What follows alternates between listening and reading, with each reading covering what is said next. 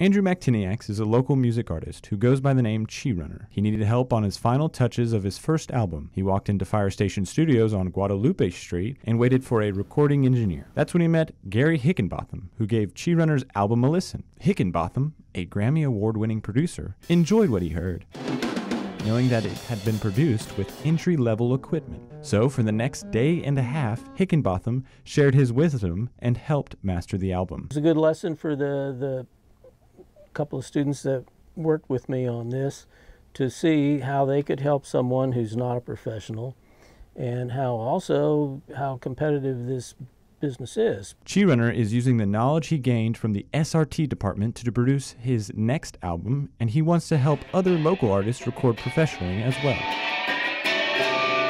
For those guys to like take the time out of their day to like believe in what I was doing and um, to show me how I could improve and to validate me, I guess, as an audio engineer and musician was really good. Welcome to LA is Chi Runner's top hit on Spotify with more than 10,000 listens. If you have a project that you want to take to the next level, stop by Firehouse Studios here in San Marcos or contact Chi Runner through Facebook. For Bobcat Update, I'm Preston Cox.